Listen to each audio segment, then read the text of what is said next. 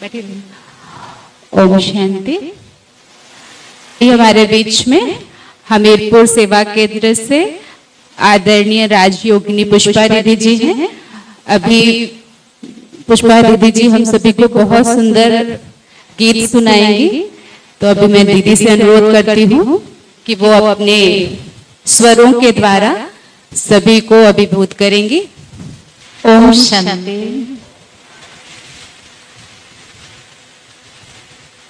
आज।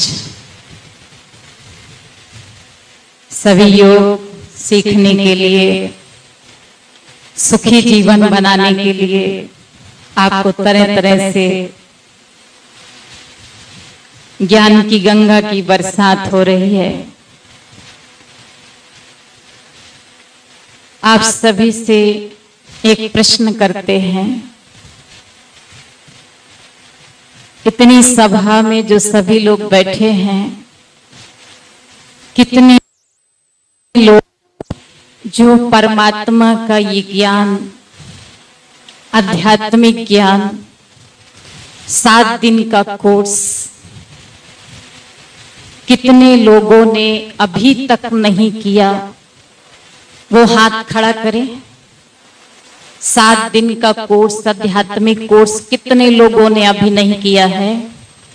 हाथ खड़ा करेंगे जो पहली बार आए हैं। बाबा के घर में अभी कोर्स नहीं किया है। ऊँचा ऊँचा हाथ खड़ा करेंगे, दिखाई देगा। अच्छा अभी तक कोर्स नहीं हुआ। अच्छा अभी दो भाइयों का और आठ दस माताएँ हैं। तो जहाँ आपका नज़दीक सेवा केंद्र हो,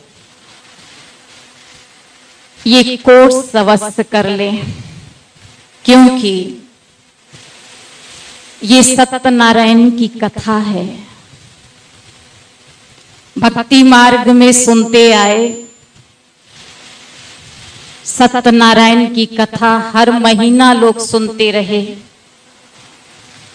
लेकिन जो परमात्मा ने हम सबको कथा सुनाई, जो हमारी कथा है, हम क्या कर रहे हैं, वो ज़रूर सुनना।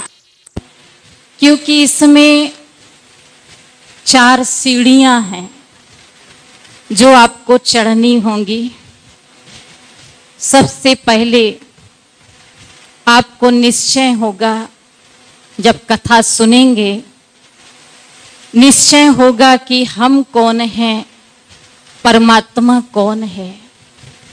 ईश्वर धरती पर कहते हैं, भगवान ब्राह्मण के भेष में आए।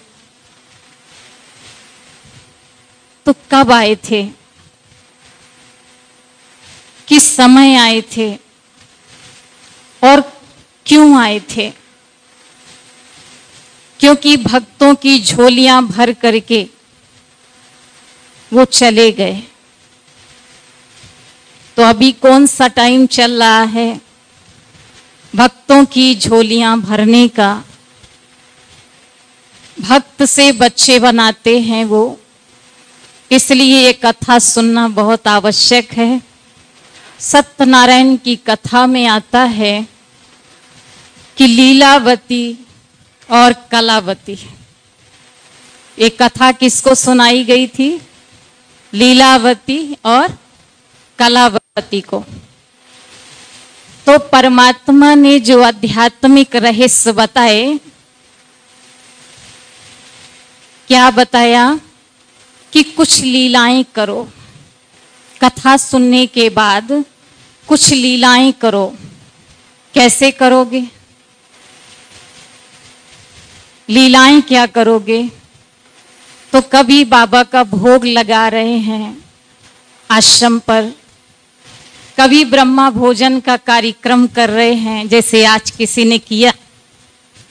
ब्रह्मा भोजन का कार्यक्रम। इससे कितनी ब्राह्मणों की दुआएँ उनके पास इकट्ठा होंगी? ब्रह्मा भोजन लोग खाते हैं और दुआएँ भी देते हैं साथ साथ तो कुछ लीलाएँ करो अपने जीवन में। क्योंकि जब लीलाएँ करोगे, तभी तो नाम वाला भगवान का होगा और आपका भी होगा। और ज्ञान सुन लिया, कुछ लीलाएँ नहीं कर रहे। बस रोज मुरली सुन के घर चले जाते हैं। ईश्वर से कोई मतलब नहीं है। ईश्वर की कारोबार से कोई मतलब नहीं है जिनको तो कहते हैं, ये लगे बच्चे हैं, ये सगे बच्चे हैं। जो सपूत बच्चे होते हैं, कुछ कपूत बच्चे होते हैं। तो हमें सपूत बच्चा बनना है तो कुछ लीलाएँ करनी पड़ेंगी। दूसरा, कलावती जो आता है, कलावती का मतलब होता है कुछ कलाएँ। कृष्ण के अंदर कितनी कलाएँ थी? सोलह कलाएँ। तो सोलह कलाएँ अपने जीवन में लाओ। सबसे पहला जो कला भगवान ने सिखाई, वो है जीवन जीने की कला।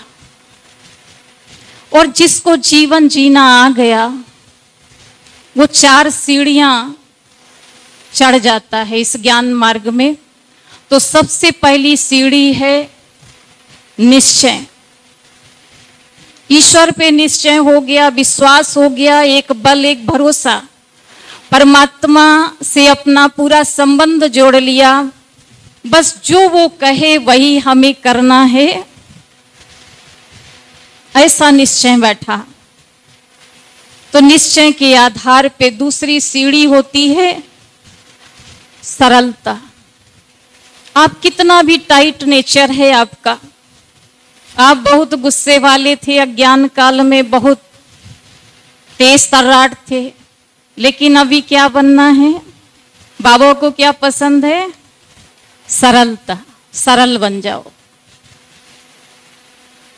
और जब सरलता जीवन में आ जाती है तो आज्ञाकारी आप ऑटोमेटिक बन जाते हैं।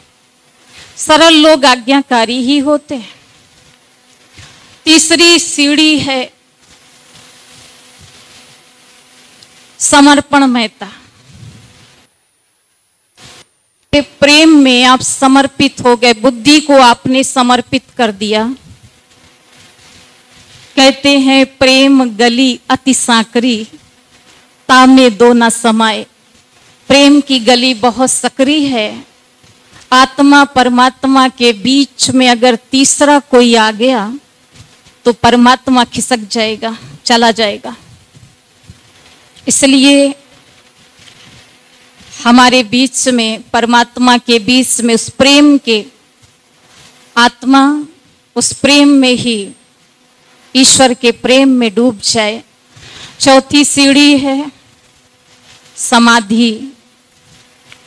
परमात्मा के प्रेम में आप मगन हो जाइए, क्योंकि ईश्वर हमको कहाँ ले जाना चाहते हैं? कहाँ की तैयारी सभी कर रहे हैं? स्वर्ग जाने की। तो जब स्वर्ग जाने की तैयारी कर रहे हैं और भगवान ने कहा है कि अगर तुम वायदा करो तो मैं तुमको बहुत अच्छी दुनिया में ले चलता हूँ। अच्छी दुनिया में मैंने तुमको भेजा था। आज तुम कहाँ हो? तो बाबा को हमेशा बोलो बाबा, हम मौज में हैं, खुश हैं, अच्छे हैं, सबके लिए शुभकामना शुभ भावना रखो। और ऐसी दुनिया की तैयारी करो जहाँ बाबा हमें ले जाने के लिए आए हैं। तो उसी पर आपको एक गीत सुनाएँगे, क्योंकि भगवान से जो वायदा करते हैं, उस वायदे को निभाते भी हैं।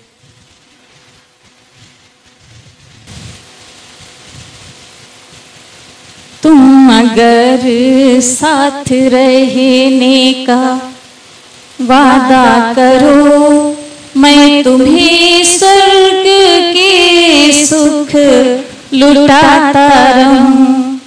तुम अगर साथ रहने का वादा करो, मैं तुम्हें स्वर्ग के सुख लुटाता रहूँ।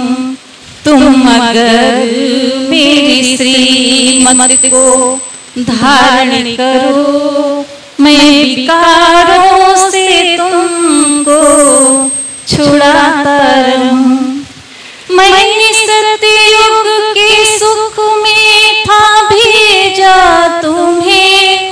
राज सिंहासन पर था बिठाया।